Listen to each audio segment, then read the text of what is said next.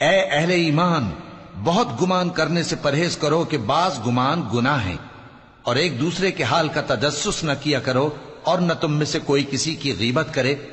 क्या तुम में से कोई इस बात को पसंद करेगा कि अपने मरे हुए भाई का गोश्त खाए? उससे तो तुम ज़रूर नफरत करोगे तो गीबत न करो।